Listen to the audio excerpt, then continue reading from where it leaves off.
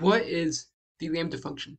The Lambda function is a brand new function in Microsoft Excel that allows you to create your own user-defined functions without having to go into VBA. So the general format of how this works is u equals lambda. And then the first things is you're going to want to list out the variables that you have in your function. So let's just say, for example, we have a price table. We want to calculate something as a price after discount, right? Equals lambda.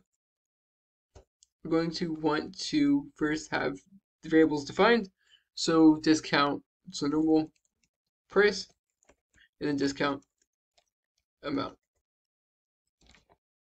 Then after this, we're going to want to have the calculation. So basically this is where is normal price times 1 minus the discount, and then close parentheses.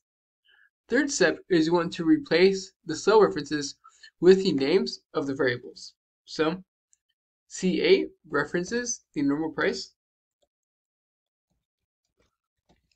price, and D4 represents the discount amount.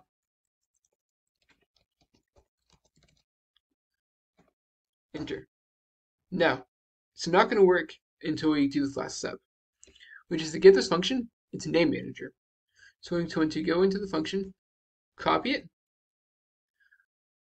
formulas, name manager, new, discount, discounted price. The scope of this function, we're going to say this works for the entire workbook. Um, and we're going to say, I can make a comment, calculated. The this calculates discounted price, throw on a date. And then we're going to say refers to equals the lambda function. So now we do click OK. And then click close. As you can see, we have a brand new user-defined function.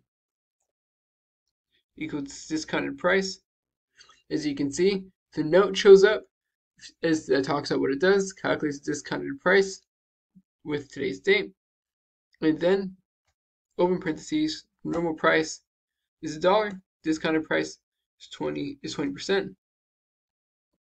And this is awesome because now that we've made the function, we can use it like a normal Excel function. So you can change discount to 10 cent, 10%, 15%, 50%, change the price.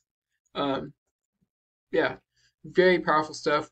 Hope you found this tutorial to be useful, and y'all have a great day. Like, subscribe, and comment. Thank you so much.